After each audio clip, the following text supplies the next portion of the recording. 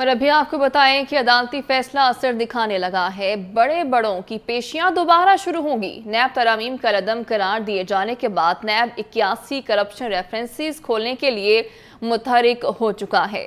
अदालती फैसला असर दिखाने लगा है और बड़े बड़ों की पेशियाँ दोबारा शुरू होंगी। नैब तरामीम का लदम करार दिए जाने के बाद नैब इक्यासी करप्शन रेफरेंसेस खोलने के लिए मुतहरिक हो चुका है। अदालत में दरखास्त दायर की जा चुकी है। नैब तरमीम का लदम करार दिए जाने के बाद नैब इक्यासी करप्शन रेफरेंसेस खोलने के लिए मुतहरिक हो चुका है और अदालत में इस हवाले से दरख्वास्त भी दायर कर दी गई है।